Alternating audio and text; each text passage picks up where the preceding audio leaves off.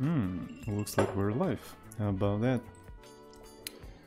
Uh, let's make a little bit of an announcement before we actually start doing anything. Right. So it's gonna be a red circle live on Twitch, and hopefully it's not super loud. Okay, so um, my uh, my typing is not super loud, which is nice. Uh, https twitch.tv slash pinged. Did I change the title? Yeah, I did change it because I copy pasted this stuff from the title anyway. Alright, alright, alright, alright, alright. Mm -mm -mm -mm. So, what are we doing uh, today? I guess we're doing a programming, making a programming language. Um, hello everyone, how are you guys doing? Hello, hello. Um, welcome to a new apartment, I suppose. It's not really new, it's actually an old one. I moved back. Mm, so yeah. The programming language we're going to be doing today is going to be called, uh, let me create a folder, uh, Porth, right? So we're going to be making some sort of like a Forth, uh, but in Python, right? And on top of that, I actually want to make it compilable, um, so it will compile to native code. Um, but to make it a little bit easier for myself, I'm going to actually translate it to assembly, and then we're going to uh, compile the assembly and link the assembly. So that's gonna be the idea. So maybe I'm gonna actually put some sort of a readme first, right? So this is gonna be uh, Porth. Uh, it's like Forth, but uh, in Python, right? Uh, but I don't actually know uh, since I never programmed in Forth. Mm, I only heard that it's some sort of stack-based uh, programming language. Programming language. uh, Porth is also stack-based programming language, um, which makes which makes it uh, just like Forth. Uh, am I am I right? Right. So that's basically uh, the description of the programming language that we're about to do, actually about to make. And uh, yeah, it's like Forth but in Python, but I don't actually know. Um, since I never programmed in Forth, I only heard that it's some sort of stack-based programming language. Porth is also stack-based programming language, which makes it just like Forth, am I right? Uh, so, yeah, that's basically the idea that's basically the idea. So uh, I'm gonna release the entire shed under MIT license if anyone needs that. So there you go, you can use this entire thing uh, under MIT license if you want to. And I'm gonna create a file called porthpy. Uh, yes, yes, yes, so it's gonna be bin, uh, I think we're gonna do user bin environment python 3. We're gonna be using python 3 in 2021, right? So because using Python 2 in 2021 is kind of cringe, am I right? Mm -mm. I do think so. Does anyone even still use Python 2 in 2021? I mean, my operating system still uses uses it. So every time I run Python, it by default starts Python 2, right? So yeah. Uh, but it's a very old um, Debian, uh, not new fetch, neo fetch. Mm. Mm, Python 4 is coming soon. Uh, Python 4. Let me actually Google that.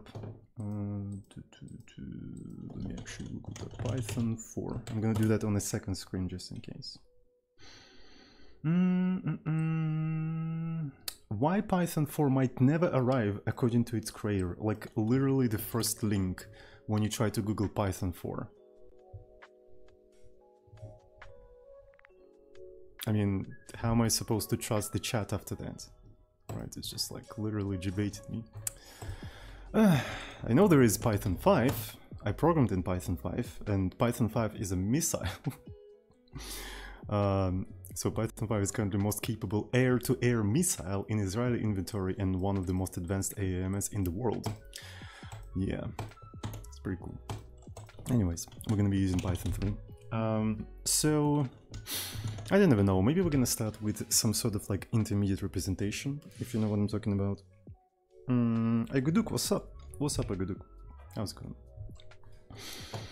Mm -mm, mm and um, I suppose the easiest thing, like I want, uh, we'll get a subscription. Um, Ellipse0934, thank you so much for uh, three months of tier one subscription. Thank you, thank you, thank you. And welcome to our epic Python club.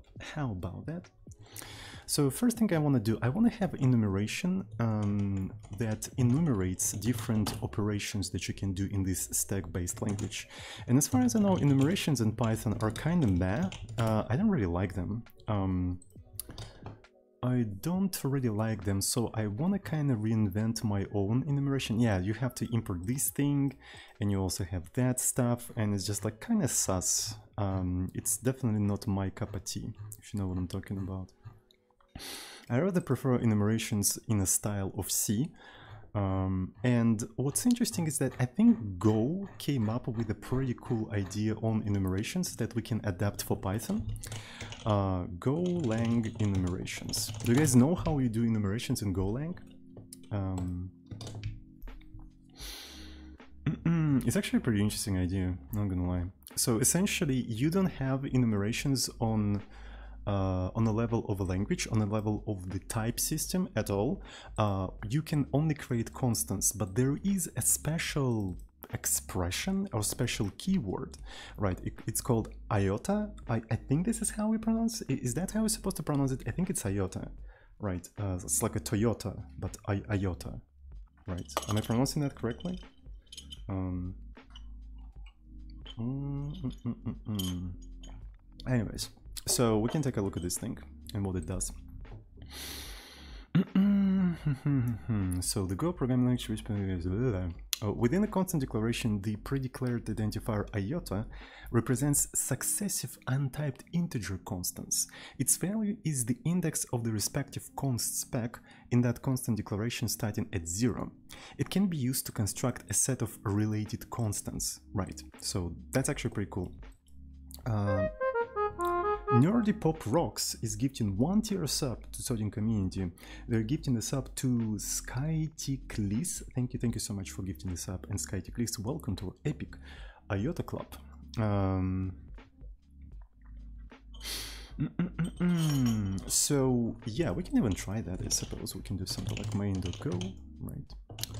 Uh, it's gonna be package main and it's gonna be func main uh, and I probably have to import something like uh, fmt right, so this is fmt and maybe I want to disable white space uh, print f um, -hmm, hello world. There we go. So if I do something like I probably need to save this entire thing. Right, it's gonna be go run and we're gonna run this entire thing and it should just say hello world hopefully after it warms up all of the caches. Right there we go. So it says hello world.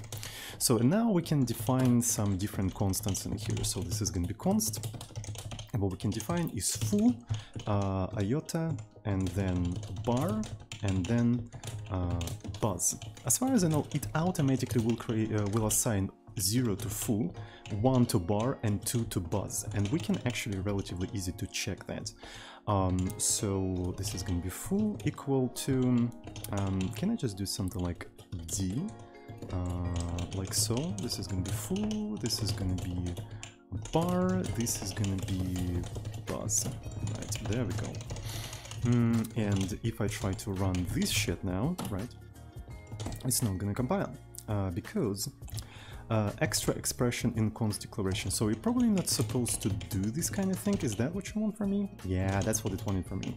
Right, and what, what's cool is that uh, if you stick uh, something like hello in here, it will automatically sort of recalculate the rest of the values here. So it acts basically like, uh, you know, like enumerations in C, but where you explicitly say uh, which things are more successive. It's like C enumerations, but with more control over how the values are generated. I, I really, really like that idea. Um, I think it's rather interesting, right? And then you can say something like count, and this is how many of those things you have in here, right? So you have uh, four of them, and count is, in fact, is going to be four. Um, so I think this is the idiomatic way of doing that in Go, and I really want to adapt that in uh, in Python. oh, and another interesting thing is that iota value is reset uh, every time you write const. Right, every time you write const, iota starts from zero, right? So that way you can create several of those things. And what's cool is that you can also use it in different expressions to actually create masks and whatnot. And oh shit, this is actually so cool. Yeah, it's so convenient for creating masks. Um, really like that. Yeah, it's, it's a really genius idea actually. You think about it. Um, really like that. Okay, so, uh, oh my god, my, mouse is actually kind of crazy. So let's remove that and let's try to create something similar for Python. So I think to create something similar for Python, we'll have to create a global variable, uh, let's call it iota count, uh, counter, and it's going to start from zero. Right, and I think in our case iota is going to be more like a function, if you know what I'm talking about. Right, so it's more like a function. So we'll need to save the current iota counter, uh, right? And then we'll have to increment iota counter by one, uh, like so, and then we'll have to return the result. And there you go, we have iota. So, and uh, now I should be able to create different operations for our programming language. So since it's, it's going to be like Forth-like uh, programming language, mm, we're going to have like sort of operations, like in a stack-based virtual machine.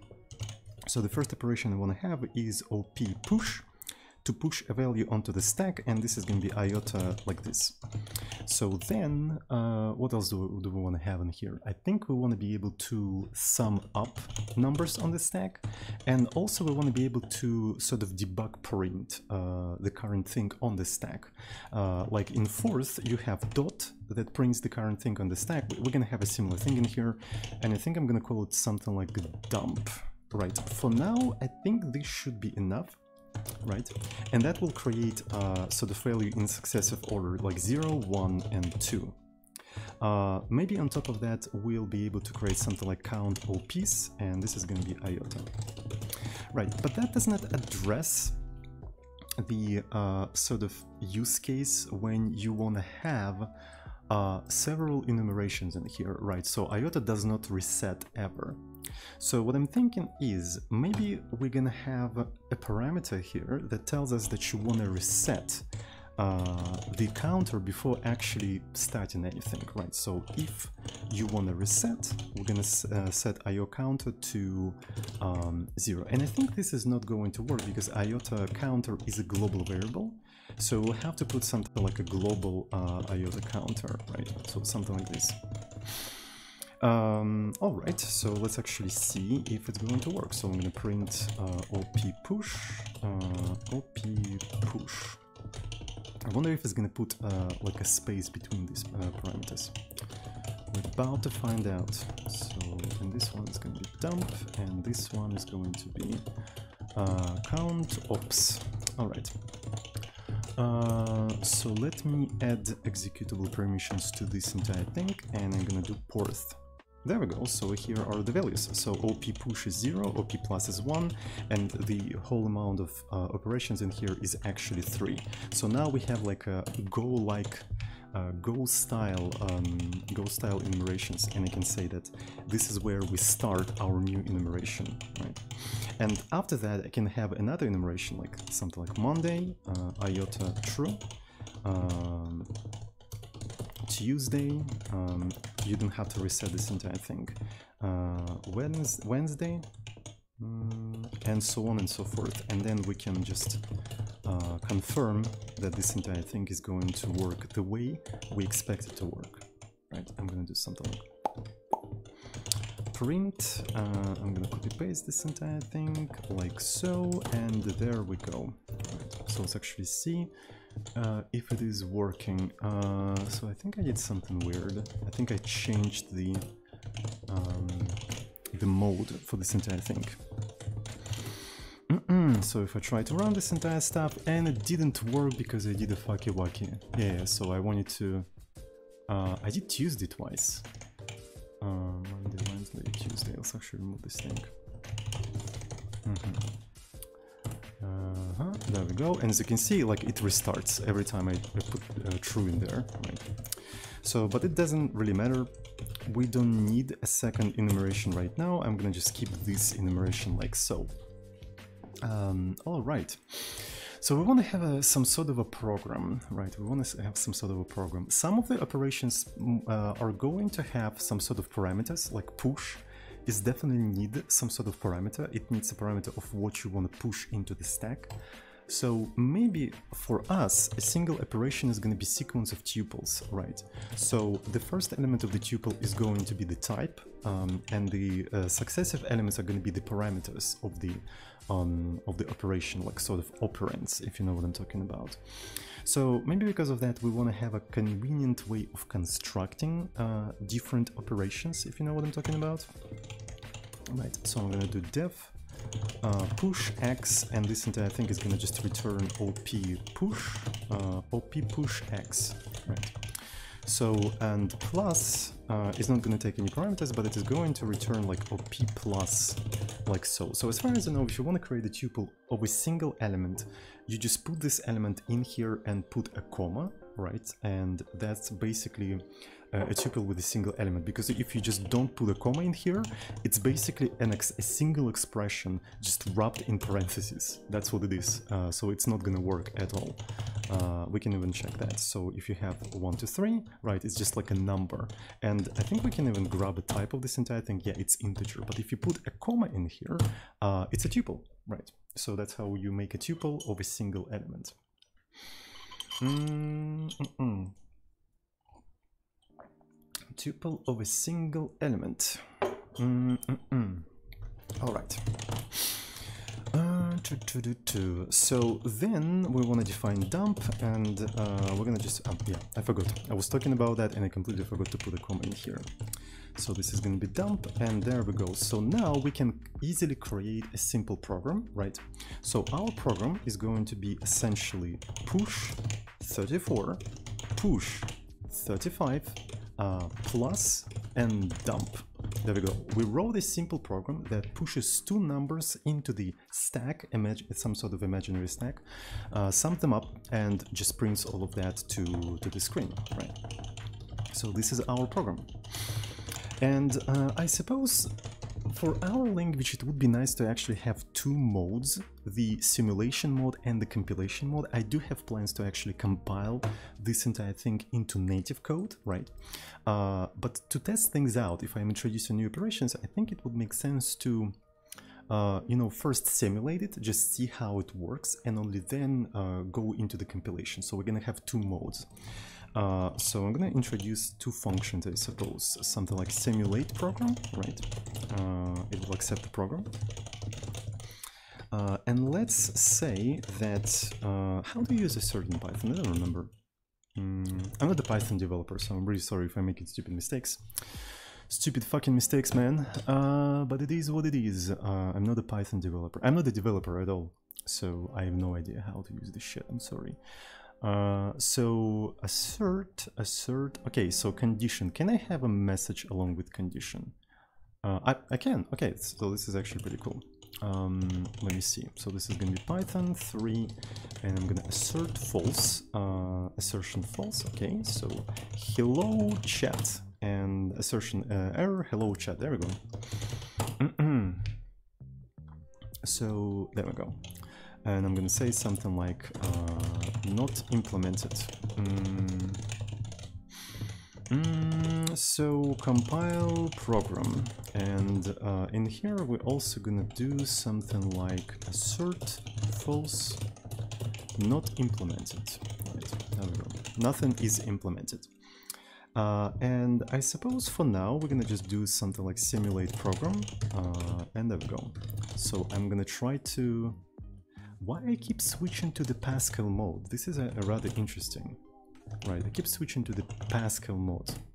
Okay, every time I try to compile my entire thing. Yeah, So porth pi, and there we go. So it fails here. Uh, in here, it's not implemented. Okay, so let's actually go ahead and iterate through each individual operation in the program, right? And if uh, op0 is equal op push, right, we're gonna do one thing, right? So it's gonna be false.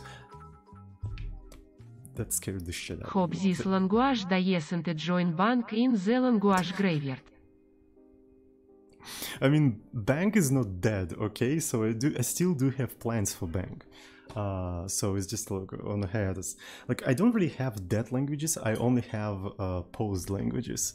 Um, I mean, I don't have a dead projects. I only have uh, post projects because eventually I do plan to return to them because it's basically a content that at some point I can reuse, right? So because I already did one series where I actually go back uh, and just like look at the project uh, with like a new perspective and uh, yeah that was additional content so every time i ran out of ideas i'm to be basically going back to old projects and just trying to find something interesting to do with them so nothing goes to waste. Nothing goes to waste.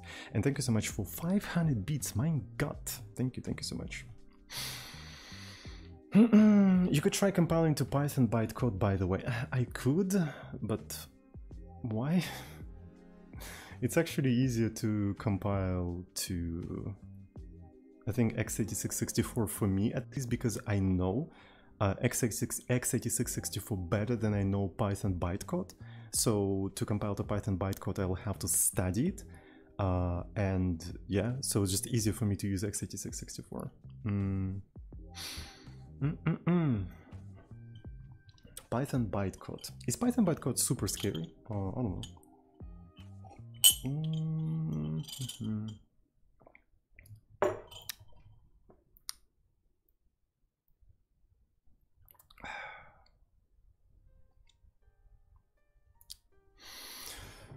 right, let's continue. Um, H Quill, uh, thank you so much for two months of Twitch Prime. I know I troll most of the time, but really appreciate your content меньше чем три. Thank you. Uh, thank you so much for appreciating my content and for two months of Twitch Prime subscription. Thank you, thank you. I really appreciate it. Really appreciate it too. Uh, okay, so we're gonna have plus in here, and this is gonna be assert. And elif uh, is going to be something like, oh my god, uh, op0 equal op dump. And we're gonna assert false in here. And I suppose um, other Liparus subscribed at tier 1. Thank you, thank you so much for tier 1 subscription. Your first subscription, by the way. Welcome to our epic Python club. How about that? Isn't that amazing? Holy shit. Thank you, thank you so much. So, and in here, I suppose I'm gonna say something like unreachable, right? So, unreachable, uh, because that means you provided um, an operand that we are not aware of, right? We're not aware of this operand, so this thing should be unreachable.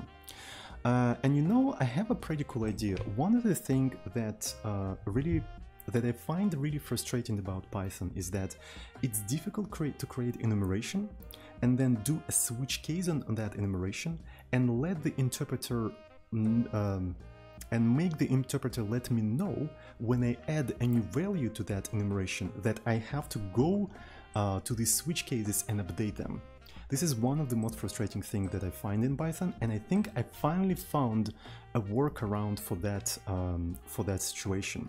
And it actually uh, synergizes with the way I generate enumerations. So essentially, right in front of this switch case, right in front of this switch case, I'm gonna put an assert. And I'm gonna say that while when I was writing this switch case, uh, I expected uh, this amount of operands. Um, exhaustive, uh, exhaustive um, handling of operations in simulation. Next time I add a new operation in here, next time I add a new operation in here, uh, and then execution goes in here, it will fail with this assertion, letting me know that I didn't uh, fully handle all of these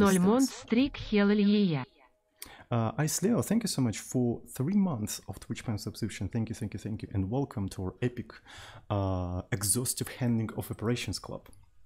So, yeah, this is basically the way I found to sort of comfortably work um, with, um, you know, enumerations and switch cases in Python. Uh, I know that in latest Python they sort of introduced like, yeah, people say a match case, and I'm not sure if that thing actually fixes the problem that I'm talking about. Uh, so it's rather interesting. It is in fact rather interesting for me. Um, mm. All right, so Python uh, match case, mm, switch case statement are coming to uh, to Python. So let's actually take a look at them. Deep Singularity, what's up? How are you doing? Okay, match case uh, uh, uh, uh, are absent for Python despite being common feature in most languages. Uh, fast forward, blah blah blah, structural Mm, falsy. For some reason, my yeah real use case with JSON. I'm not sure if it actually solves my problem. That's the that's the thing. Uh, Jose GPT, I hope I pronounced your name correctly. Thank you so much for tier one subscription, your first subscription, by the way uh, and welcome to Epic Python Club. I'm not sure if it addresses whatever I said, so I will have to look into that, but so far, this thing is really, really important for me. Uh, alrighty. I don't think it does. Very well then. I mean, it's fine with uh, with the assertion, right? So it is fine with the assertion, and it actually kind of works well for me. Um, okay, so I suppose we'll need to create something like stack in here, right? And um, now I'm gonna do stack, I think it's append, and what I'm gonna be doing, I'm gonna be appending the uh, one in here, right, so we appended the stack. And then when I want to do plus, I want to actually pop a couple of elements from the stack, right? So I'm going to have A, uh, stack pop, uh, then B, and then I'm going to append a sum of these elements back into the stack. Right, and if I want to dump something, what I'm going to do, I'm going to be popping this from the stack, right, and then I'm going to be printing this entire thing. Uh, and there we go, so we implemented a very simple interpreter for our uh, programming language, right, so yeah. It's not a compiler, but it's a simple interpreter. Um, Alright, so let me try to run this entire thing and see, and it printed 69, would you look at that? So that's exactly what we expected. Very nice result, very, very nice result because we just pushed a 34 and 35 and it printed this entire thing. Uh, we can try to push something like 420 and dump it yet again, right? So uh, there we go, 69 for 20. So that's pretty cool. So we have a simple interpreter for our program, which is quite nice which is quite nice. So, and let's actually test uh, our, um, you know, idea with the assert. If I try to add something like, let's say, uh, minus, actually, that's really strange. Yeah, it has to be three. All right. So if I try to add minus uh, to the plus and just try to run it, it instantly failed in here, letting me know that I didn't handle all of the things in here. Alright, so what I have to do now is uh, if op 0 op uh, minus, right, so it's gonna be uh, a stack pop, mm, then it's gonna be b stack append a minus b. There we go, and then I'm gonna say that I do expect four operands in here, and there we go, everything seems to be working. So maybe we can do the following thing. I'm gonna push uh, 500, 500, then I'm gonna push uh, 80, and I'm gonna do minus between those things, and will that work? Okay, so if I got a comma in here, and uh, yeah, we don't have a constructor for the minus, alright. So let's go ahead and do that. Uh, define minus um, return p minus. There we go. Mm, okay, that's that kind of worked. Uh, but interestingly enough, I think we have to actually subtract them in a different order. I do think so. Yeah, because this is the top and this is below the top and I would expect them to be in a slightly different order, I think. So I'm gonna actually swap them around super quick. Yeah, 69 for 20. Okay, that, that looks great. That looks pretty great. Uh, so let's implement the compilation, I suppose. Do I still have a little bit of tea? I do have a little bit of tea. Mm. Mm -hmm. Cerimon, what's up? How are you doing? Welcome, welcome, welcome, Cerimon. We are programming in Bison. Um, programming in Bison. Bison. uh, so how I'm gonna be compiling? So I think maybe compile program will accept the the program, right? And it will speed out the assembly, right? I think that's one of the things we can do. Mm, you know what? Let's actually make uh, this program sort of like self-contained executable, right, with subcommands and shit. Okay, I think it's a good idea. So this is gonna be the program. It's hard-coded program for now. So I'm gonna put it to do unhardcode program. Uh, we want to be able to actually load that program from a file or something like that, right? So, but for now it's gonna be hard-coded. So let's check that we are, um, you know, in an entry point, right? And uh, what I want to do in here, I want to handle the uh, arguments, right? I want to handle the arguments. So I want to move to this folder super quick. Okay, so we're gonna have Python 3. And is it in sys? Uh, arg, there we go, it is in fact in sys.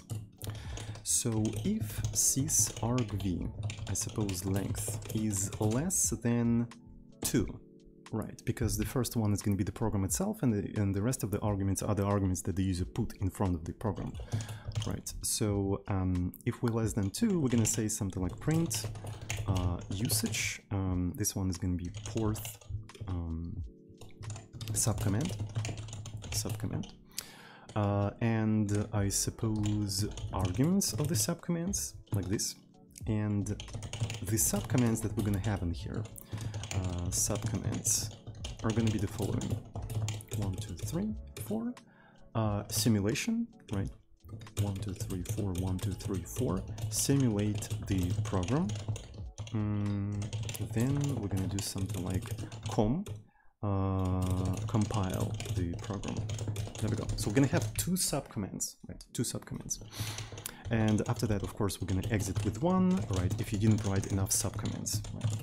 So now if I try to uh, run this entire thing, it will, oh yeah, we didn't import sys. Okay, import sys. And there we go. So it tells us, it tells us that uh, we didn't provide the subcommand. If I provide the subcommand, it will do nothing, right? Uh, because we don't handle uh, subcommands yet. Okay. So let's do the following thing. Subcommand equal to sys argv argv1 argv1 zulu and if subcommand uh, is equal to simulation. Uh, we're gonna do simulate program, and we're just simulating the hard-coded program that we're gonna unhardcode later. later. So uh, subcommand equal com, and here we're gonna compile the program. So this is gonna be program. And otherwise we can throw some sort of an exception, saying something like uh, error, um, Mm -mm -mm unknown uh, unknown subcommand. And we can also print that subcommand in here just in case. I suppose that would be useful and then we can exit with one. Um, and I just realized that I never actually explained to the user what exactly went wrong in here. So I suppose it would be nice to say something like error. Um, you know no subcommand is provided. Right no subcommand is provided and maybe I want to extract the usage uh, to a separate function. I think it's going to be nice. So I'm going to put it in here and uh, like so. So if we encounter an error, we print the usage, then we say what exactly went wrong and we exit with non-zero exit code. The same thing goes here as well. Mm. The same thing goes here as well. Alrighty, alrighty, alrighty, alrighty, alrighty. Okay, so uh, compilation is not implemented, but the simulation is implemented. Would you look at that? So we can't do compilation yet, but we can do a simulation. It's pretty cool. So if we're going to be doing compilation, we need to generate the assembly code. To generate the assembly code, I think we need to remember how to write the simplest, um, you know, Linux program in assembly. Uh, Linux program in assembly. So I need to remember how to do that. So let's actually write a hello world in assembly. So if I remember um, how to program in assembly for ELF, you have several segments, right? So you have segment text where you store the code, then you have a segment data where you store initialized data, and uh, you also have a segment BSS where you store uninitialized data. Right, so um, I think in this, for the hello world, not even hello world, but, but the simple program that basically exits with zero code, we only need text because we don't need any data, right? So we also need to define the entry point, right? The entry point on Linux is usually called start, if I remember correctly, right? So it is start. Um, and you won't be able to just compile it because you have to mark the start as a global thing. So because by default, it's, sort of like an internal symbol. But this is the like smallest assembly program that you can write, I think. Uh, and we can try to compile it. So it's going to be NASM, uh, hello ASM and yeah it actually compiled it and it generated a hello uh, with a single thing. Right so it actually generated like a raw binary which is not what we want. Uh, it's a generated raw binary. So we want to what we want to have instead I think we want to have elf64 executable. There we go it generated elf64 executable. Right and as far as I know it it does contain start. It does contain start but I don't think uh, it is visible. So if we try to link this program uh, to hello, uh, hello.o, uh, yeah, yeah, it, it, cannot find the, the symbol. So the way we have to do that, we have to say that the start is a global symbol. I think this is how we do that in NASM. Uh, I think how we do that in NASM, but I'm not 100% sure, so let's actually see. Maybe we'll have to Google up shit. I need GitHub Copilot. Like, I applied for GitHub Copilot, uh, some time ago and they actually never answered to me. Uh, but the more I program, the more I realizing that I really want to have that thing because quite often I just want to quickly look up something and I don't want to Google uh, or anything. I just want to tell, yeah, this is roughly what I want. Could you please give me the snippet that does that because I'm too lazy to to write it down. It, will be actually kind of insane. Um, I really want to have this thing, believe it or not, because I think it would actually improve my workflow especially if it knows how to do low level stuff that would be actually perfect. By the way i was thinking uh, for what kind of stuff uh, you know these kind of things would be useful. And i think the openai should make a product where you can train your own codex you see codex is trained on open source um, open source data. I think they should be able to have a product where I can throw my proprietary code into this model and I can host that mo uh, model on my own computers. So I can actually do like um, you know, proprietary knowledge. I have I want to have a proprietary knowledge system. And you know what's even cooler? Uh, I want to be able to throw not only my code of my proprietary product in, into this model, I want to uh, actually throw all of the conversations in all of the chats, in all of the emails into that model so that model has all of the knowledge about what's going on in the company. So anyone who joins the company can just ask what the fuck is going on and that model will answer you in the style of GitHub Copilot. I think they should make something like that. That would be fucking awesome because there's a lot of um, companies like uh, with proprietary uh, stuff where they cannot replace people because people have too much knowledge right so there are some particular people that are expert in a particular area of the application and they don't like sharing that knowledge. With that model, you can actually take away job security of those people from this company and actually fire them. So you're gonna have an AI that have like knowledge about everything what's going on in the company and can answer any question. Like for example, you have a huge enterprise system and you need to add a new table, but to add a new table to the database, you need to do extra steps that only one person in the company knows. Instead of going to that uh, person, you can ask that AI, and since AI has the knowledge of all of the things, it can tell you that you have to do that, that, and that. So that's the real threat for job security of such people, if you know what I'm talking about. So. Mm-mm. Mm. Mm-mm. Copilot steals code without copyright notice. Oh yeah, I heard that take. So I, I remember somebody make a take that uh, Copilot is essentially like code laundry, right? So basically you can clean the license out of the code because it's a novel, completely novel generated thing. I, I heard that. so uh, you've been GPL'd. uh, and no one will want to work in a company like that. I mean, maybe with such AI, nobody will need need to work in such company. maybe such company will basically hire only one person uh, that basically asks all of the question to that AI and basically does all of the work, right? so I don't know. Maybe this is how it's gonna go. Uh, we'll see. Um, mm, mm, mm, so it's almost like with the with these cafes where everything is automated and only one person uh, is sitting there like supervising everything that is going on there maybe with these kind of models and if you start integrating that models into the companies it's going to be the same uh, all of the knowledge now contained within the model and you need only one person supervising everything and just asking questions to that AI. So I don't know. It's kind of difficult to predict the future. Maybe it's not going to be like that. We'll see. Um, new company model air rules the world with one person just asking. yeah, that would be interesting. So it's like complete singularity. Um, anyway, so we need to write a simple, a single, um, simple program. Mm. Mm, you have an evil plan to fire people. Oh yeah, I do. Um, to be fair, I have all of these ideas because I don't care because I don't work in this industry anyway, so I'm not really afraid to be fired from that industry. So I just, I just literally don't care. Mm, mm, mm.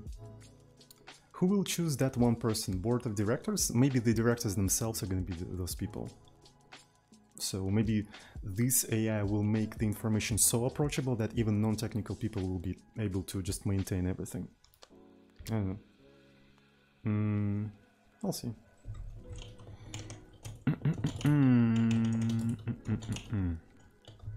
okay. So what I'm thinking is that maybe the compile program step is going to call NASM and linker for us. I think that's a pretty cool idea. So uh, Python um, run external uh, external command. Mm, mm, mm, how to call? I already googled that before. uh, already actually googled that before. Ah, it's a sub process. Okay, I think I remember that. Mm, import sub.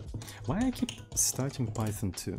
Um, oh, wait a second. I have IPython, the Python from Apple. Oh my god. Do you guys know that Apple made its own Python? It's called IPython. It's so fucking great. It's slow for whatever reason, but yeah. So uh, I'm gonna import sub uh, sub process. Oh my god, why is everything? My computer is so good and fucking slow. I don't know why. Uh, import sub process. Uh, okay, in the sub process, uh, I'm gonna call. Right, is that how we do that? So it's gonna be help. Uh, right, run command with the arguments, wait for command to complete. Okay, so you provide the list of the arguments. Okay, so it's gonna be call and it's gonna be echo, um, something like hello chat. Right. Uh, there we go. So it said hello chat. So we can call external commands like that, which is rather convenient in my opinion. Right. So.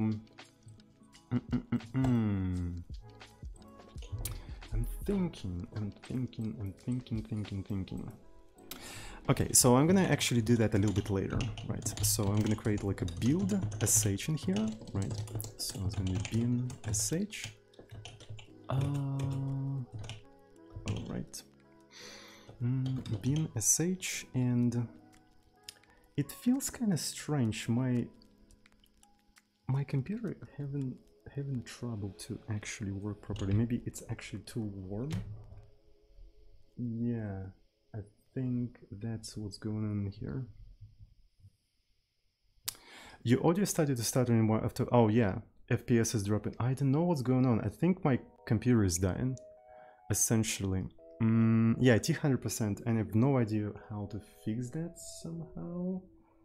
Oh boy, that is really, really bad. Okay, so I'll need to come up with something super quick. Maybe put something under the under the laptop. I think I have a couple of ideas. Just a second, chat. Just a second. Everything's gonna be fine. Everything's gonna be fine. Trust me. I hope we're not gonna die. Alright, so I put something under, so there's like some sort of like air circulation under the laptop. Hopefully that will uh, make the situation a little bit better. Um, so... Mm -mm. All right.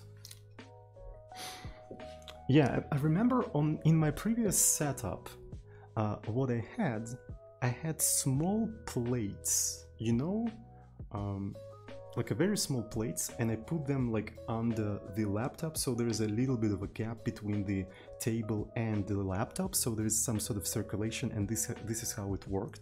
And it uh, kept the temperature like around uh, 90 so now I actually get rid of them and the table is actually a wooden one. So I suppose wood has a lot of thermal uh, thermal isolation. So that could be bad that could be really, really bad. We'll see. So I just put something uh, between the table and the laptops to have, you know, some sort of a gap.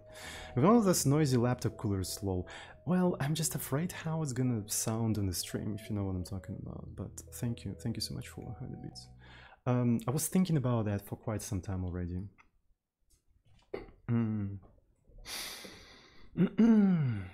All right, so um, hopefully the sound is gonna be fine. Uh, no. Mm. I saw that your old YouTube channel is booming. Really? Uh, I didn't know that. Uh, just I just put my computer inside the freezer. Easy win 5 head. 5 head, in indeed. Thank you so much for 25 months of Twitch Prime subscription. Thank you, thank you, thank you. And welcome to our Epic 5 Head Club. Uh, oh shit! Yeah, thank you so much for reminding me that. Yeah, I forgot about this category. Yeah, yeah, yeah. So I wasn't really rebelling. So game, uh, uh software. What was it? Programming. I, I completely forgot about that. Like this category was created when I was on vacation, so I completely missed that one. uh, come on, Twitch, you can do that. I, I believe in you. You know what's funny? You know that it basic the the query is basically failed, and UI failed to reflect that. Like you know that, but I keep waiting.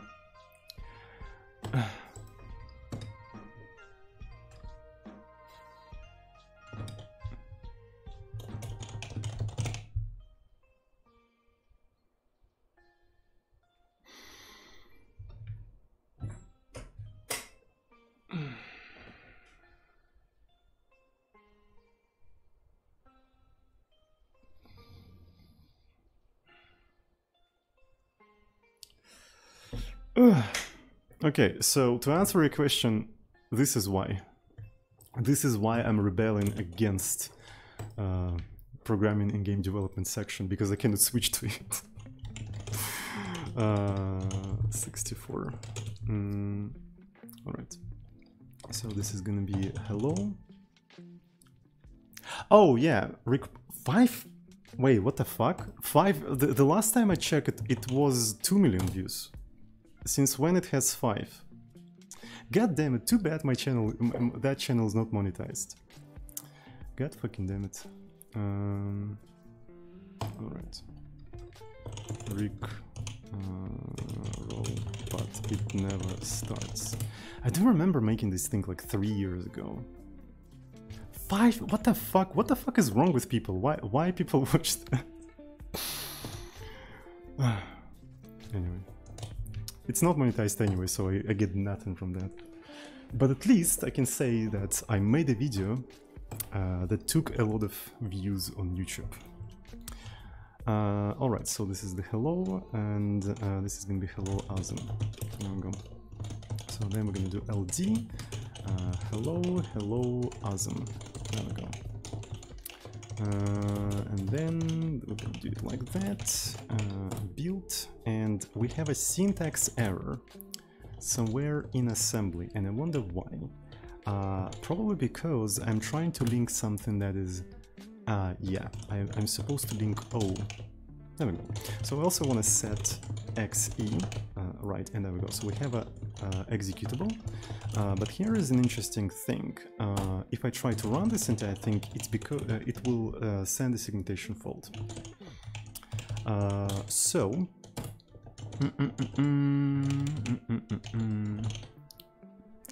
So what's the problem here? Why this program would segfault?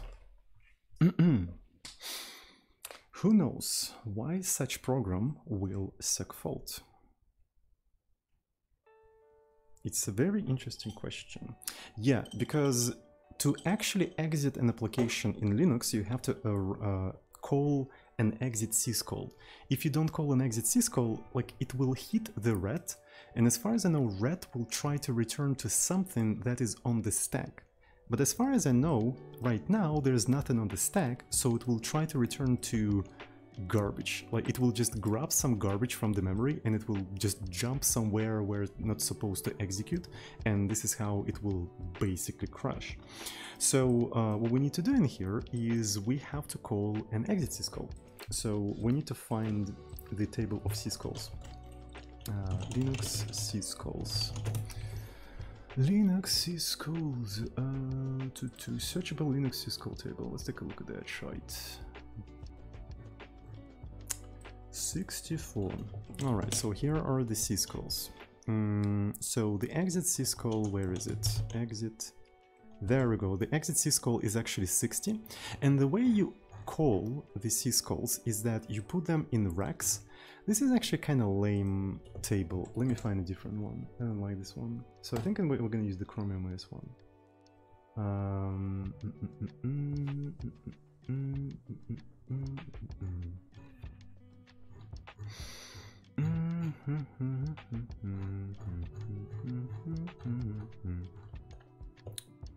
okay. So, yeah. So the way you call the syscall, right, you put the number of a syscall into RAX and the arguments into RDI, RSI, RDX, R10, R8, and so on and so forth correspondingly. So these registers are the arguments of the syscall. So in our case, we want to call exit syscall, right? So the exit uh, syscall has a number 30, uh, 60, I'm sorry, no, not, not 30. So we'll have to move uh, RAX and um, I think I'm gonna do something like sys exit, right? So this is gonna be sys exit. We can, we can have a macros in here, which is rather convenient. So sys exit is gonna be uh, 60. Why do I want to put 30 in here? I don't know. I don't know what's wrong with me. Right, then the first argument is the error code and it's in RDI, but I want to actually put something there that will, you know, let us know that we did everything correctly. Let's put some special number in here, like 69. And after that, we need to call the syscall, and that is it. So after that, the program should just exit with the 69 exit code. Right, let's try to build this entire thing. Uh, there we go, and we've got a program, right? And if I try to run the entire program, it exited abnormally, but it exited with the code 69. There we go. So at least from assembly, we can now control uh, what kind of uh, code is going to be executed when it exits, right? So, um, ah, 420. Yeah, 420 doesn't fit into the uh, byte, I suppose. Yeah, I guess it couldn't be bigger than a byte. Yeah, 255 is maximum. All right. Very well then. So, but we want to exit with zero. So this is like the minimum program that we want to have in here, right? So, and let's try to rebuild it one more time and see how successfully it exits. As you can see, it exited successfully, right? So this is going to be the basis of our compiler um, it's going to be the basis of our compiler. What's funny is that we probably don't even need return in this case, right? So return is going to be like unreachable. As soon as you call exit, the operating system is going to be yeet you out of the memory, so you don't need to return to anything. Right, so that's pretty much it. Alrighty, so what I want to do is essentially, when I compile the program, I want to generate assembly into a file and then call external commands. I want to call all of these commands from the Python Python myself. Right, I want the Python script to be sort of self-contained, if you know what I'm talking about. So how do I open a file? So I suppose you do something like with uh, open um, something like output asm uh, as f. Um, maybe it's gonna be like output, right? And this is where I can print shit but I don't remember how to print shit. So it's gonna be interesting. So I have an idea. Um, so what if I open uh, like this? So here's F. Uh, no such. Um, mm, mm, mm, mm let me take a look at help. Mm, mod. You can specify the mod. Okay, so I want to specify the mod for writing. Uh, right, and there we go. So then I can take a look at the help for this thing. Uh, IO wrapper. So can I do something like write? Uh huh. I can write the text. All right, so I can do something like write um, hello um, world new line. And can I close this entire thing now? And then if I exit, right, if I exit and I take a look at output asm, okay, so here is the hello world. I think this is how you do all that, right?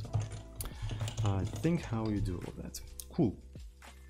So this is going to be output and um, mm, mm, mm, so the out, maybe it's going to be even out, out, right, mm, uh, awesome uh, asm hello.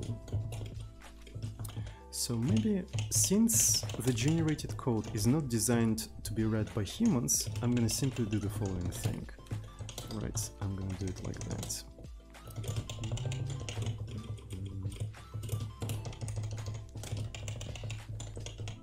Out, right, like so. Mm -hmm. New line, uh, a boom.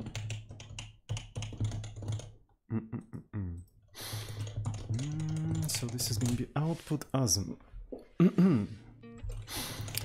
gaming chair, yes, it is gaming chair. Um, so if I try to now run porth uh, py, right, porth py, uh, so for the compilation, right, uh, let's save everything and not writable. Segment text. Oh yeah, because I didn't open this for like a writing mode, of course. Uh, and it generated the output asm, which contains everything that I wanted to see in here. Uh, which contains everything. Maybe I'm gonna actually, you know, put this entire compilation inside of the compile program. Yes, I think that's a cool idea. Yeah, yeah, yeah. So I'm gonna put that inside inside of the compile program. All right. Mm, four, uh, like so. And I also can do something like out file path, right? So this is going to be out file path, like so.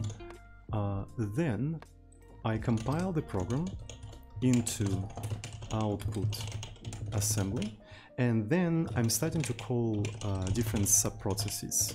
Subprocess, uh, subprocess call um, NASM uh, elf64 uh, to, to, to, to output ASM and then another subprocess uh, call LD um, O output output.o. There we go. Uh, to, to, to, to.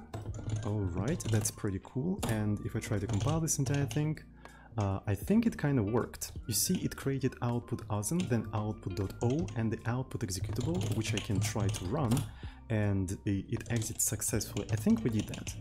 Uh, I think we successfully did everything.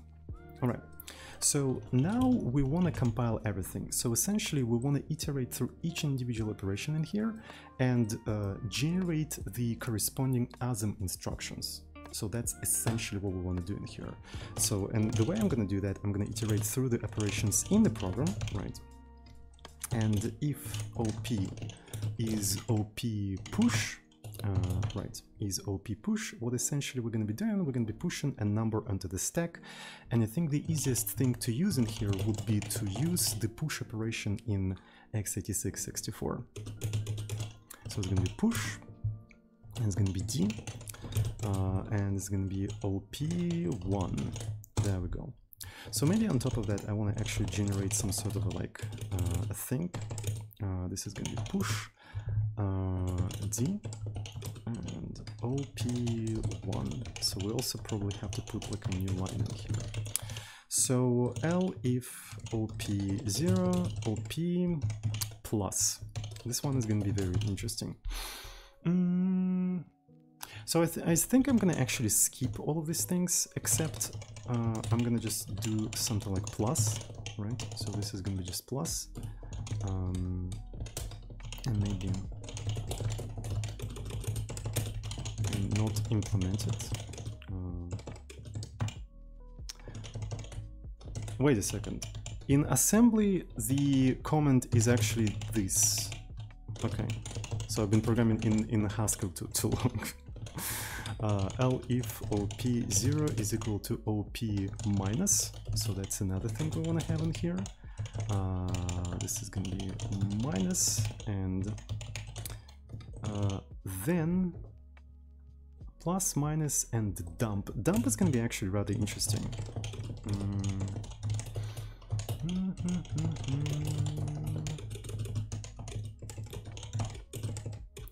So I think dump is going to be super fine.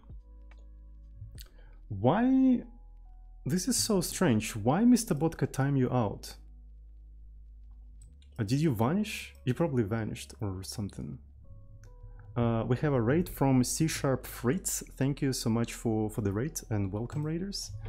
Uh, it was vanish. Okay, hello everyone. We're just like writing, writing. I, I think I actually like configured my uh, to actually remove the last message of the timed out person, so that's why I didn't see it.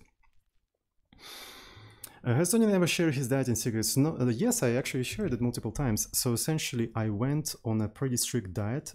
Um, there where I ate only proteins, no fats, no uh, carbs for like a couple of months. And it's I do not recommend doing that because it's actually kind of dangerous for your health, but that worked uh, relatively well. No category, yeah, this is really weird. Like Twitch doesn't allow me to change the category. Let's actually try to do that. Uh, so category programming, basic programming. Uh, I think it's software, right? It's software development. Yes, software and game development. Okay, so th thank you for reminding me about the about the stuff. Um, no carbs per you moody and groggy. Your brain needs to carbs. Yeah. So, but but the thing is, um, I had a lot of you know weight, so I was basically going off of that. Gia, thank you, thank you so much for 27 months of tier two. Thank you. Hi. We're writing a programming language in Python that compiles to native code. so yeah, it, is what it is, it isn't what it isn't. Um, so, um, yeah. so yeah, this is basically what I did to lose so much weight, and I do not recommend that uh, because it's dangerous actually. But I, uh, I knew what I'm going for. Uh, thank you so much for uh, five tier one subs, and uh, everyone who got the subs, welcome to our epic Python uh, club, I suppose. Um, so yeah.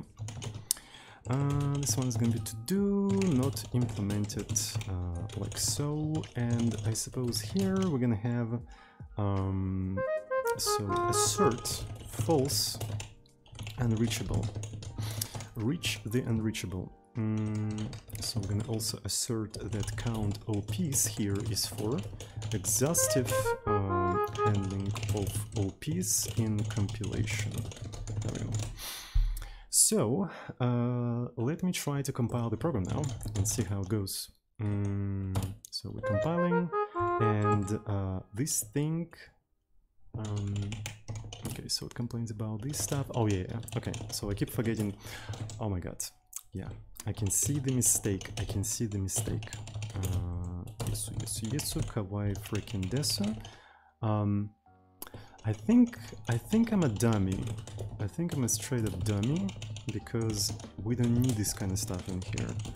Uh, okay, so and if we take a look at the generated assembly, this is what we got, right? So we have push 34, uh, push 35, and all of the push operations actually um, compiled successfully, right? I wonder if you can instruct uh, the subprocess to echo the commands that you put in there. You know what I'm talking about? So subprocess, um, and uh, I want to take a look at the subprocess call. What does it have? Uh, to, to, to, doesn't look like it.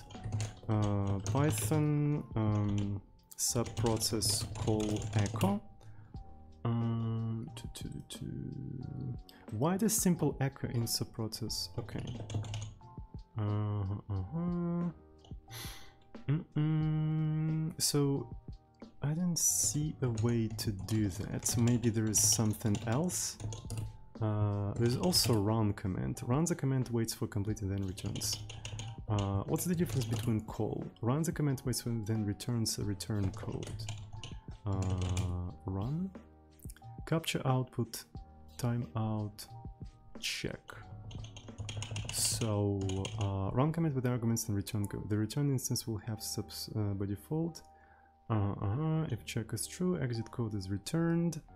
Um, I don't really want to capture std out or std error. What I want to do I want it to echo the command that I'm running. So uh, basically print to the standard output what command is currently running, but it feels like I'll have to do that myself. Um, I feel like I'll have to do that myself, so essentially that's what I want to have, right? Um, mm, mm, mm, so, and maybe we can create a very simple function call cmd, uh, right, and it will just do print cmd and subprocess call cmd, right, so we don't have any duplication. Uh, call cmd, there we go. Because I want to see all of that shite. Subcommands, uh, 14, um, subprocess. Mm -hmm. Yeah, there we go. Uh, at least on that level, because I want to see what is exactly executed, right? Um, not even an option. Yeah, an, an option would be actually kind of nice, uh, but it is what it is. Alright, so how are we gonna do plus? Uh, I think it should be pretty straightforward. We can pop rax, right, then rbx, and then essentially add rbx to rax and push this thing back. Right, push rax back. So the same goes for minus, I suppose. The same goes for minus. Mm, it's gonna be sub. -mm -mm. The only thing we need to implement is dump. The only thing we need to implement is dump, and we'll have to implement it actually from scratch completely. Uh, but maybe not. Uh, comma colon. So did I forget? Oh, I forgot the new lines. Okay, sure. Uh, forgot the new lines. Uh, two, two, two, okay. Uh, all right, so if I take a look at the ASM, here is the generated assembly. Right, so it's going to be plus, this is the minus, and uh, everything seems to be working fine, except we don't have a dump. And to be fair, I don't want to implement dump. What does dump do? It prints the, uh, the current thing on the top of the stack and also consumes the stack. Yes, I moved to a different apartment recently. Um, okay. Mm -mm. So let me let me see what we can do in here. So I can actually switch the um, yeah. So there we go. We push a couple of numbers in here. We sum them up and we dump the result. Uh, I also push a couple of numbers, subtract them and dump them. So if instead of trying to compile, I will simulate. As you can see, so this is the sum. This is the first sum, and it dumped it like like this. And this is the uh, difference, right? And dumped it uh, through this command. So that's basically what it does. So, and we need to write an assembly code that just dumps a number, right? So I have an idea. I think we're gonna cheat. I think we're gonna cheat a little bit. I'm going to implement um, that command in C. Then I'm gonna compile it to assembly and then I'm gonna stick the assembly into into the code generate because I don't really want to do that uh, manually. So I'm very sorry. Uh, let me see. So let's actually implement dump.c uh, so what we want to have from this function in fact is so it's not going to return anything. It is going to accept only uh, uint64, right? So this is the number it accepts, and uh, it's going to be stdint, and we're going to try to dump uh, 69 for 20. I don't know. Mm. So we'll try to actually not use uh, standard C, right? We're gonna uh, use the C syscalls directly. okay. So we'll need some sort of a buffer into which we're to be collecting the digits, right? So let me quickly do that. So 64-bit number, uh, the maximum value of 64-bit number is this. If I convert it to a string and take the length of that string, so this is the maximum length uh, that we can have for such number, right? So I think allocating a buffer on the stack of the size of 32 is going to be more than enough, right? So this is going to be uh, the buffer on the stack. Uh, now, as we push uh, characters into that buffer, we need to keep track of those characters. So it's going to be buffer size. Uh, to not type too much, I'm going to actually rename it to buff. Right, something like this. Alright, so now I need to iterate. While we still have uh, something, some digits within that number, we're going to uh, chop off that digit, right? Convert that into the character, right? And push that into the buffer, like so, right? So that pushes that into the buffer, and then we shift this thing yet again, uh, and that converts this entire thing into a sequence of digits. So after that, we'll have to uh, make a syscall, a write syscall.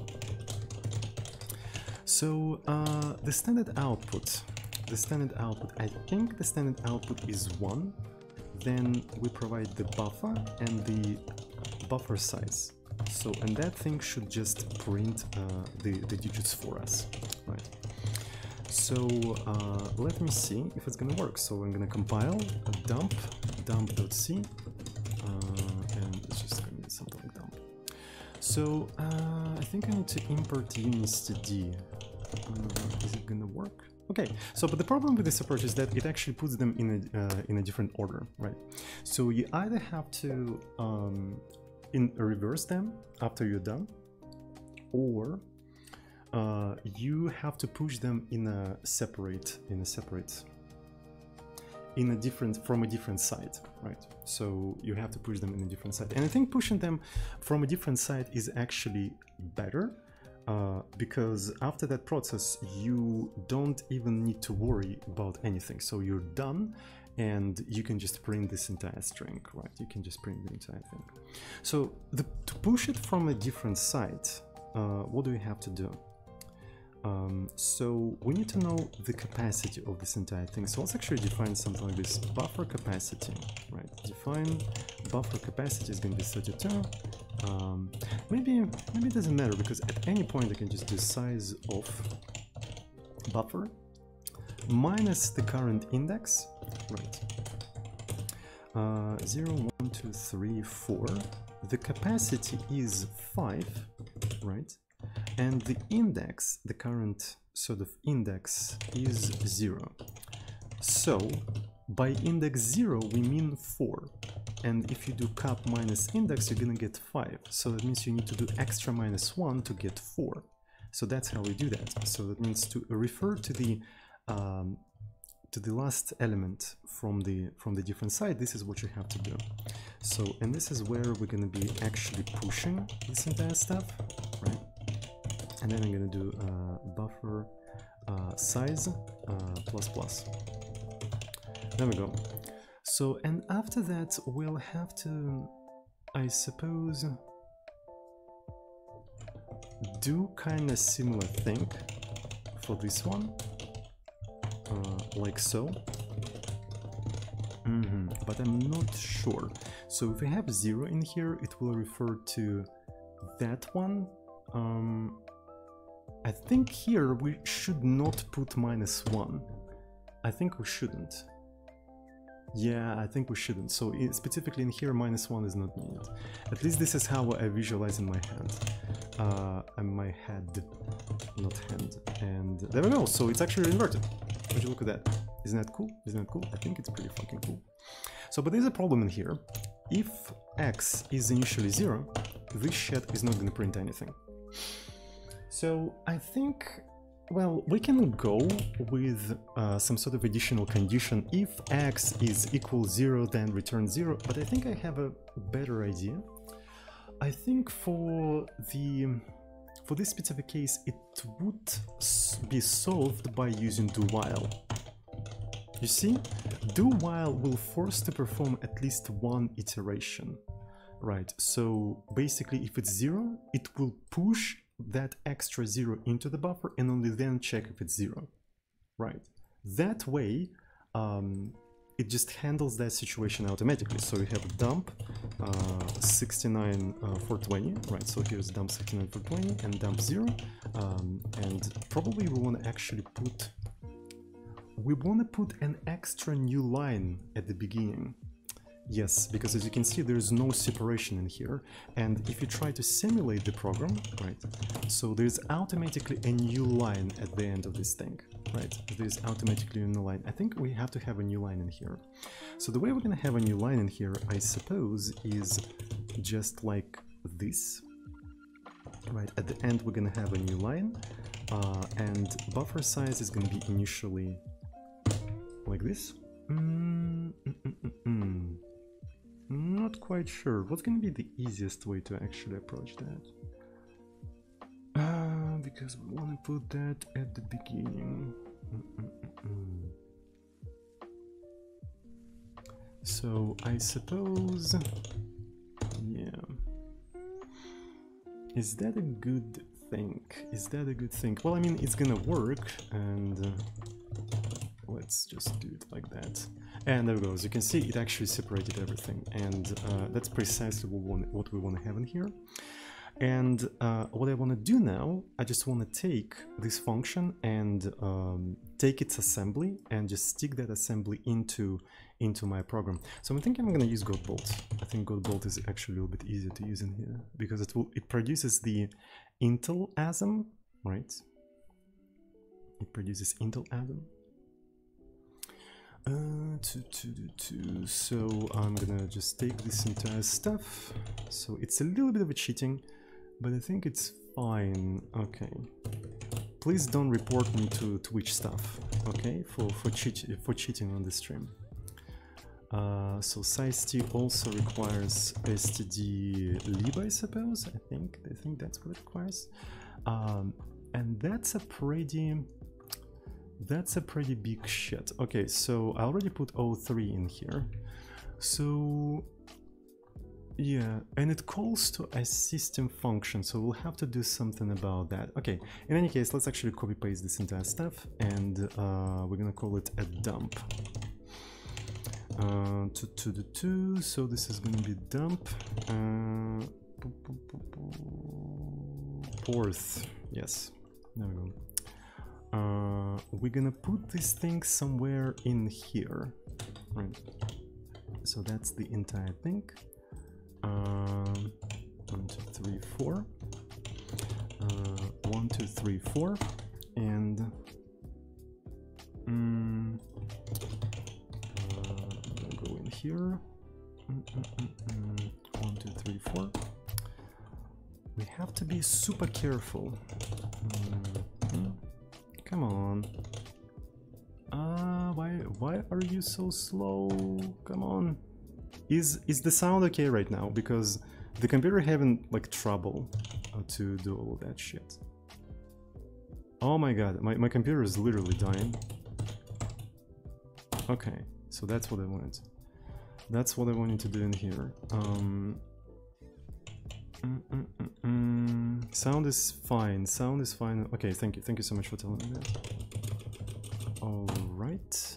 So, uh huh so that's what we're generating in here and uh, we're returning in here and essentially where do we accept the argument um, if I remember correctly the actual uh, call convention in Linux is that the first argument goes into RDI right? So I suppose if we want to dump something right if we want to dump something we'll have to uh, pop RDI then out right um, call dump like this. Mm, all right so hopefully that will produce something reasonable uh, and we'll see if it's gonna work so it's definitely not gonna work first try but uh, at least it's gonna uh, generate some sort of error uh, okay so parsing instruction unexpected uh, movabs. Um, so what the hell is movabs? Mm, in assembly code, uh, move ABS. Instruction to load arbitrary 64-bit constant into a register. I mean, it's usually done with just move, isn't it? Uh, I'm pretty sure it's usually done with just a move.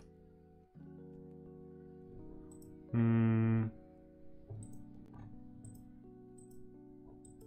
Is that like AT&T crap that sneaked into the into my into my compiler?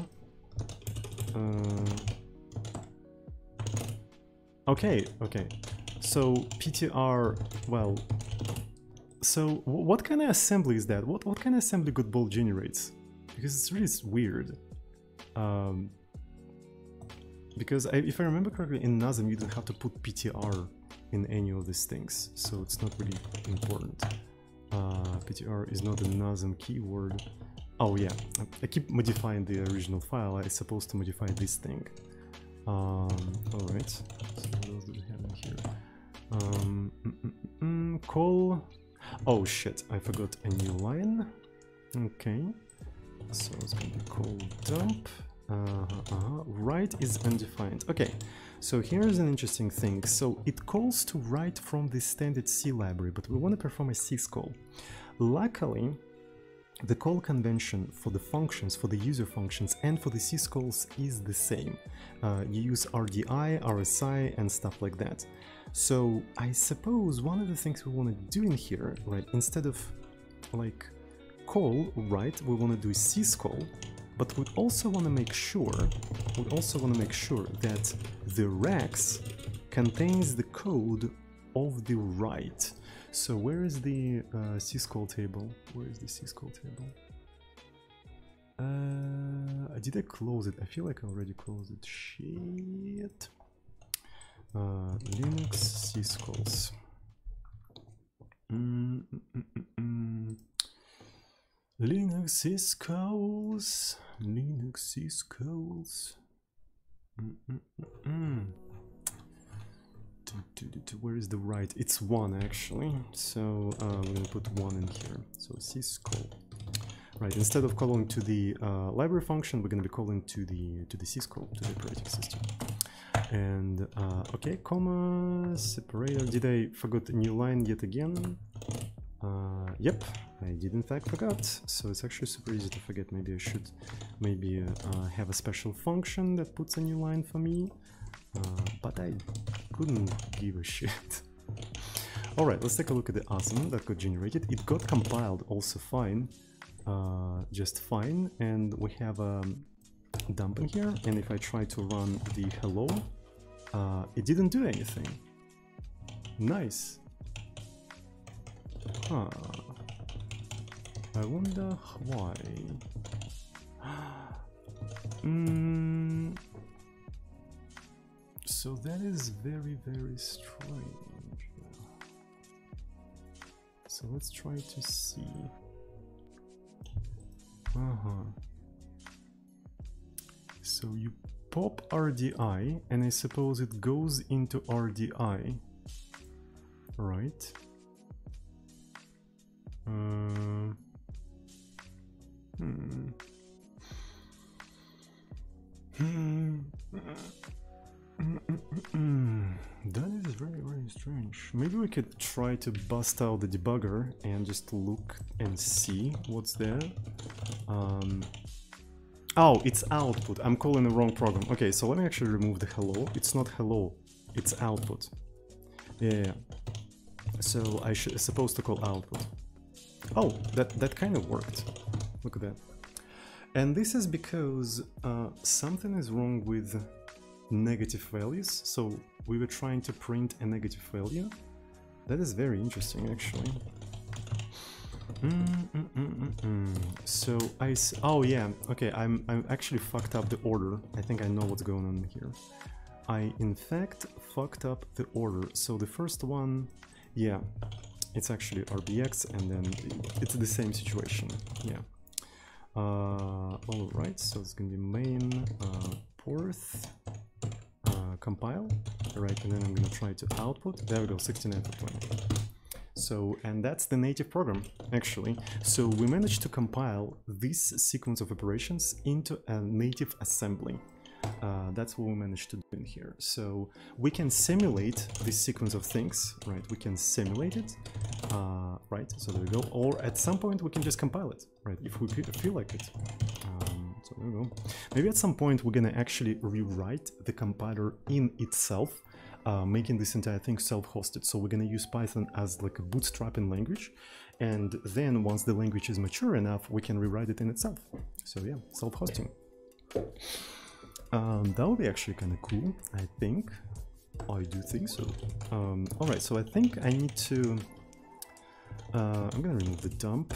So the, the, the trick of actually like using C to implement some algorithms and just compile them to ASM and embed in there is actually super effective. Um, so I think I'm gonna use it more. I really like that. I really like that idea. But maybe the language should be mature enough so you don't have to do that, so you can implement all that within the language, if you know what I'm talking about. Um, so yeah, it's kind of cool. Um, it's kind of cool. Really like that. So I think the most important thing we want to have in here is basically unhard code the program. Uh, we want to be able to just write the sequence of these operations in the file and then feed that file into the compiler and either simulate it or uh, compile it into assembly and whatnot. so uh, let me just git ignore a bunch of things. Git ignore is going to be the output, and we ignore everything that is an output. And uh, so in a README, uh, we're going to have a quick start. Quick start. Uh, console hola porth pi, uh, and what we're gonna have in here is essentially uh, you can just simulate something or you can uh, compile and once you compile this entire thing you can run the output like so. Uh, so I suppose this is going to be the first commit, if I understand correctly. Right, so it's a git init, and this is going to be the first commit. So we don't need the build anymore. Um, ready, set, a go. Um, so where I'm gonna put that?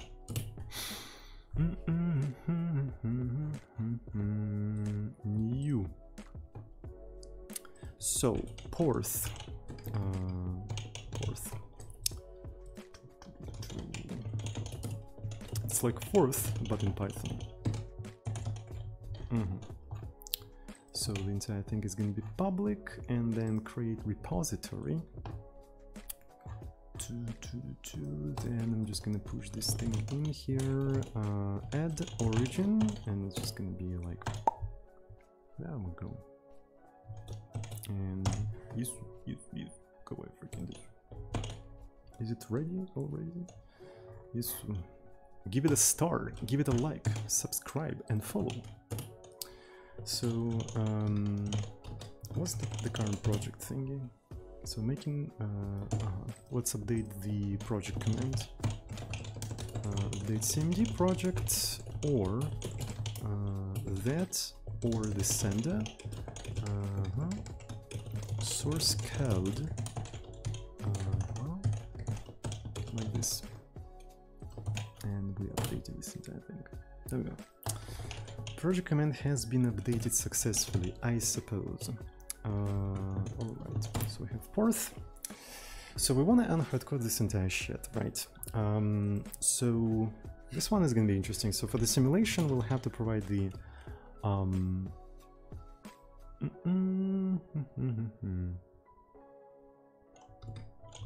so file, right? So this is going to be the file, and this is also going to be the file, right? So you either simulate or you compile the file. Um, so this is rather interesting. Mm.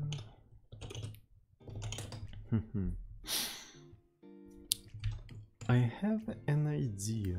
I have a small idea. If I have a list of things, one, two, three, I can sort of pop from the end by doing something like this. Okay, so I can pop from the left by doing this kind of operation, right?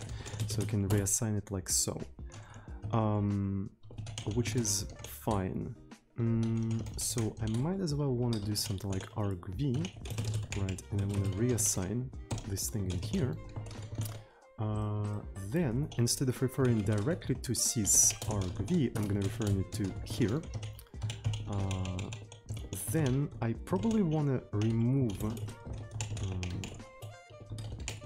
um, uh, remove program, right? Remove program.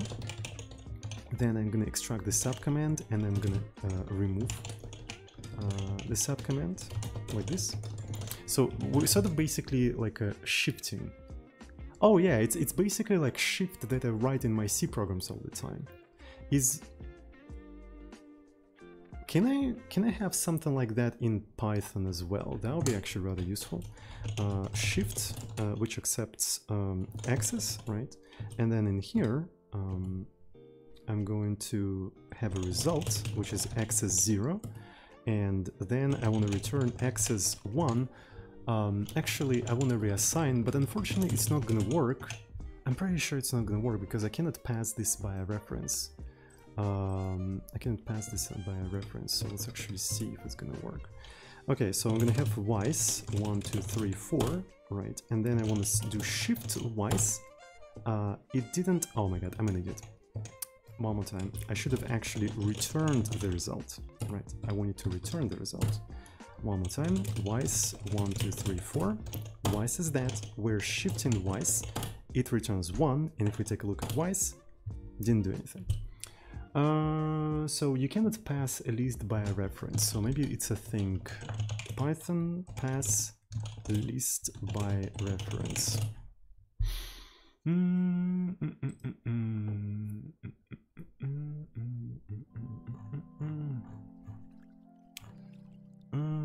to, to argument uh, passed by assignment. Uh, the rationale behind this towards the parameter passed is actually reference. Uh, a mutable type. Um, mm, mm, mm, mm. Mm, so maybe we have to actually do that slightly differently. So maybe instead of shift, we could create something like uncons. Right, so we're gonna have uncons situation. So more like a more like a function programming thing, where uh, this is the first one and this is the rest of them, right? So something like this, and that allow you quite easily do something like that, right? So you can basically uncons mm, the entire thing. And uh, I want to reassign this stuff like this. Okay, can I do something like um, x axis uncons axis? Is that a thing I can do? So here's the x. Okay, this is actually perfect. So then I can sequentially then... I guess that's one way to do that. Uh, sure. So uh, I don't personally don't care. Um, uncons. So this is be axis and uh, two, two, two. So it's gonna be axis zero, uh, axis uh, one, like so. Mm -hmm, mm -hmm. Um, so is there such thing, for instance, if I want to have something like this, is underscore a valid variable name or can I use it for wildcards? Uh, yeah, I, well, it's, it's a valid name apparently.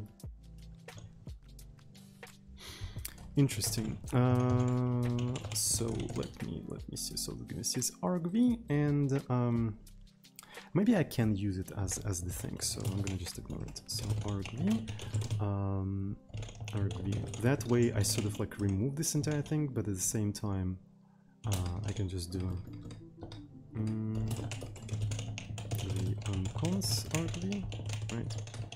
So then argv uh, uncons argv.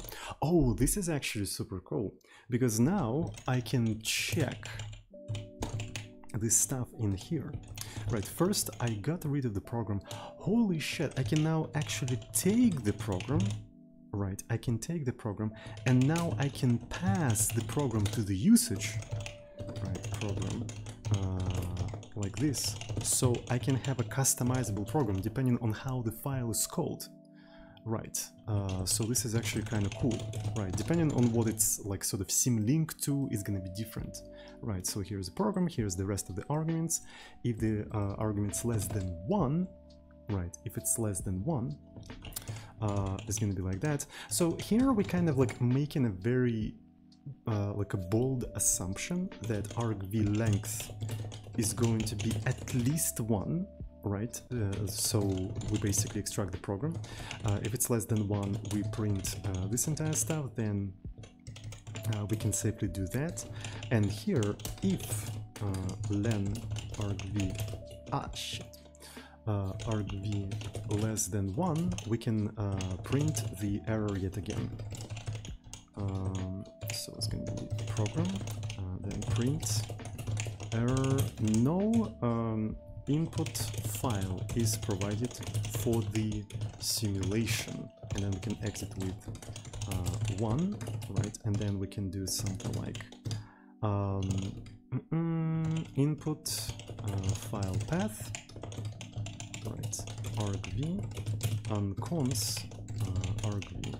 There we go. So this is actually a pretty good uh, idiom of handling this entire stuff uh, so yeah basically uncons um, yeah it's pretty yeah the, the workflow is actually pretty solid in here so uh, really like that Mm, mm, mm, mm, so, and suppose we're going to be actually providing input file path uh, as the argument of simulate program.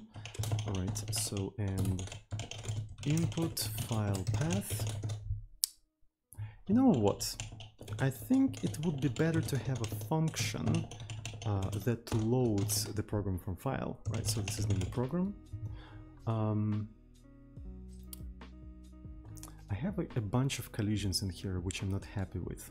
So we have a program which is the collection of operations in here, and we have a program um, as a program name. So maybe I should call it program name, if you know what I'm talking about. It's going to be program name uh, everywhere in here. And then uh, I want to be able to load program from uh, from file, and this is going to be input file path. Um, mm, program uh, program path, and this is going to be a program which I can then simulate. All right. Uh, this is actually quite cool, I think. Mm -mm -mm Hmm, so I want to translate this program into like a source code. So we'll need to think about the syntax, right? So this is going to be test, and what's going to be the extension for the porth? Uh, maybe well, let's just use porth right away. So I think it's a okay extension, the whole um, the, the whole name of the language. So how we're going to be pushing the numbers? I think we're going to go with the Forth idea where the uh, number itself constitutes that you pushing that number into the stack, right? So, and then 34, 35, and if you want to sum them up, uh, you do plus. As far as I know, in Forth, uh, dump is dot, right? So through a dot, you print the, uh, the top of the stack uh, to the standard output. Um, all right, so uh, we can do the similar thing in here, and this is the program that is encoded in here, right? Um, looks pretty good. So now we need to load that program into the memory and then simulate it and maybe also compile it. Sounds good? Sounds Gucci? Sounds Tamagotchi? Hopefully it does. Uh, hopefully it in fact does. All right. So let's actually remove this entire stuff uh, and uh, let me see, let me see. So we need to implement this function, load program from file. Um, so file path. So how can I read the whole thing into the um, into the memory? Uh, Python read whole file. Mm, read entire file into the Python into the Python string. So we just do read. Uh, okay, fair enough. Mm, so with open file path, uh, we're reading this entire thing as f, and then we just return f read. Right, so we just return f read. I wonder if I can just play with this entire thing. Can I load the uh, porth? Uh, oh my god, it's so slow. Fuck. Uh, okay. Invalid syntax. Oh, okay. Um, one more time. Oh, I have to uh, load. Um, okay. So it didn't like. Oh, it Okay, I, I, see. So the IPython actually creates an environment where uh, the main is defined, right? So it runs it as a actual program, but this is not what I want. Uh, load program from file, and uh, I'm gonna do hello. What was it? It was test porth, right? It was test porth. Uh, no such file. That is really really strange. Oh, because I never actually saved it. Okay, that makes sense. Uh, there we go. Okay, so now I want to split this entire thing, um, which is nice. Oh, that's actually pretty cool. So can I actually put some extra stuff in here? Uh, right, and then I can I want to split, and that splits it into a word, into words. Okay, that's pretty cool. Um, so now what I want to do, uh, I'm gonna be splitting this entire thing and for word in these words um, I want to convert that word into an operation. Um, so parse uh, word as op right? And that should give us like a sequence of these operations parse word as op um, so we need to check if something is a number, right? So if I have something like 34, it converted it there. If it's not a number, uh, it says invalid literal for int. Okay, that's very interesting. So maybe first we want to check uh, for special things, right? If it's plus, we return uh, plus. Uh, if it's minus, uh, we return um, mhm, return minus. If it's dot, if it's dot, um, we return dump. Otherwise, um, we return push int word, and if it's not an integer, it will throw an error. Pretty straightforward. Uh, I also want to assert that count OP here was expected for um, exhaustive uh, OP handling in parse word as OP. There we go. So if we add more operations, so this entire thing will fail, uh, prompting us to actually add a new thing in here. Uh, all right, so can I just reload? Is, the, is it possible? So there's a reload extension, but I don't think uh, worth. Oh, okay, it's, it's reloaded it. So if I try to do uh, load from file, will it give me? It didn't do shit. That's cool. Uh, okay, so let's do uh, test and so porth pi. Uh huh and then I'm gonna try to load program from file uh, test porth and count p is not defined well at least it tried count ops. Okay count. I'm already getting tired. Uh, so it has to be ops. Alright anyway so I think we can already try to test that if you know what I'm talking about. We can already try to test that. And uh, I'm gonna try to simulate this thing and as you can see uh, it says simulate requires the file so let's actually do test uh, test porth and uh, NoneType object is not iterable. Okay. So it didn't return the program. Yeah I see. So you're supposed to return it. Okay. Uh, makes sense. Okay. There we go. So if I now go into my program, so test porth, uh, I should be able to add 10, 20 plus, uh, and maybe dot, right? So, and now it has 30, right? So we unhard coded the uh, the program for the simulation, right? Which is nice. So if I uh, provide some sort of a gibberish in here, it will say that uh, this thing is not a number, right? So we can remove that, so we can simulate this thing at least. And we're about to actually write a compiler for, for this thing as well, right? So this is going to be porth. Um, so we're going to have a similar situation, right? So no file is provided for the compilation, right? So this is the program path. Uh, then we're gonna load program from the file. We're loading program from the file. Uh, then we're compiling the program and then uh, linking and everything else. Okay.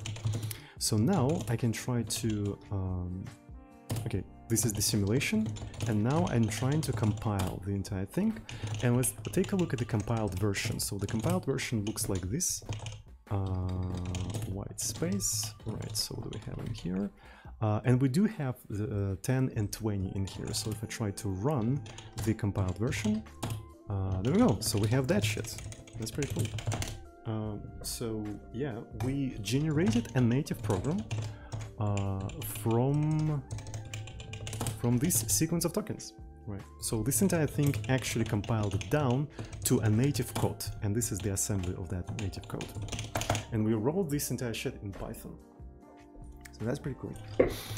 Mm, mm, mm, so we have a PyCache. I suppose I want to git ignore PyCache.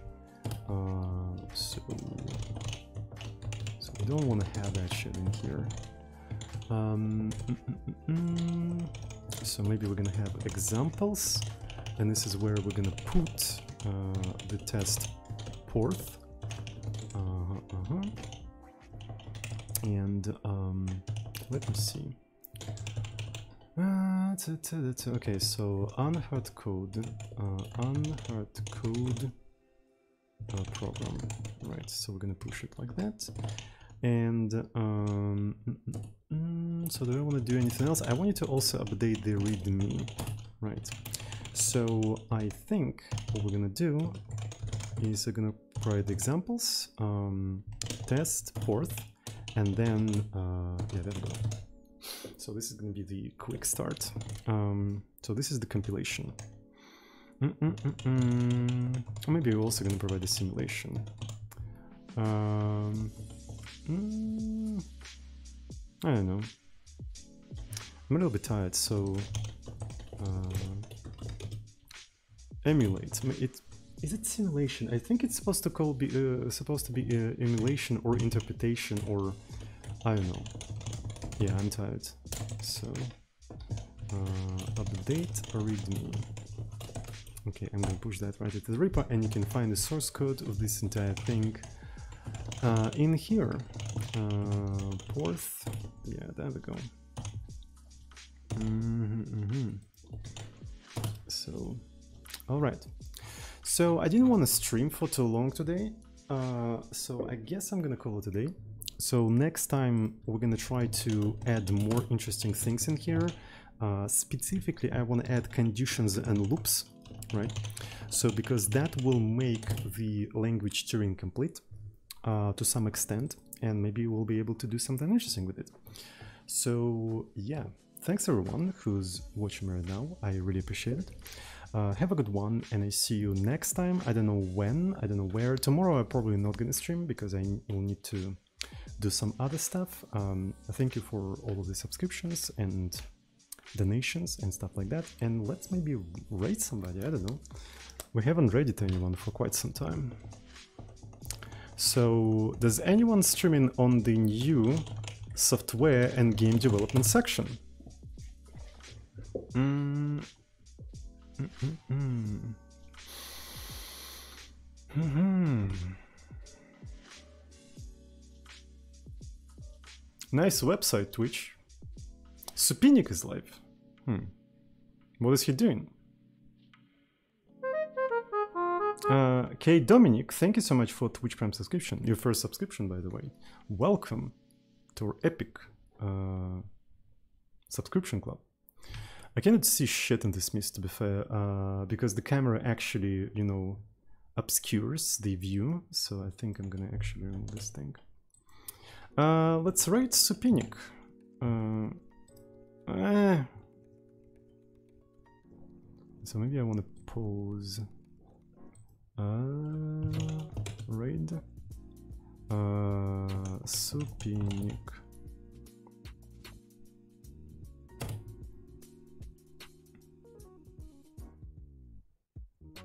Twitch is unbearable to be fair.